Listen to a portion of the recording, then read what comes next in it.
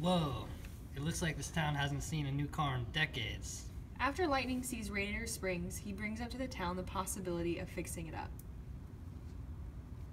I agree with Lightning. I think this place is looking really dreadful.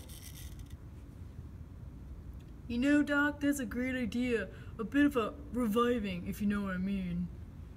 You know, Sally has been talking to me a lot about how she would really love to see Radiator Springs like how it was in the old days.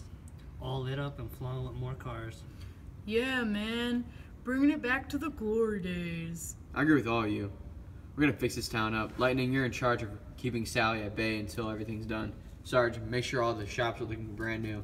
Keep everyone in line. Fillmore, just try not to get high off your organic fuel and clean up your hippie establishment.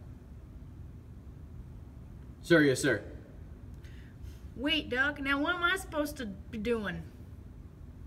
Just try not to get excited and run backwards into something. Alright, Doc. All the cars dispersed and went off to complete their jobs.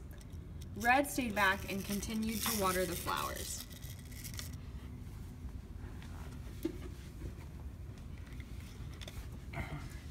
You know, Sally, Radiator Springs isn't as bad as I thought it would be. You just had to give it a chance, Lightning. I only wish I could have seen this town in its heyday. I bet it was so beautiful. Well, Sally, maybe one day you will. Sally gives Lightning a confused look as he continues to distract her. The rest of the town carries out the plan to reach the end goal of making everything look like new again. Lightning gets the call that Doc is ready for the town to be shown to Sally, so he cuts the day short and begins to lead her back to Radiator Springs. Sally, there's something I want to show you back in town. What is it, Lightning? I can't tell you because it's a secret, but I know you'll really like it.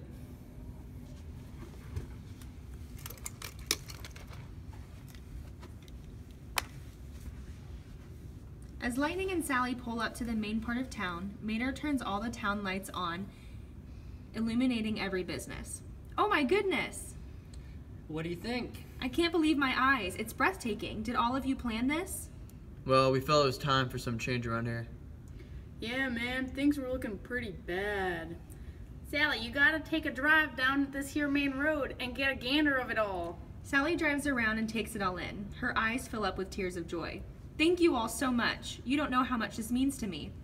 You're welcome, soldier. This town needed it. I agree. You know what? We should try to put out some advertisements and get this town back on the map. That sounds like a great idea, Sally. Let's do it.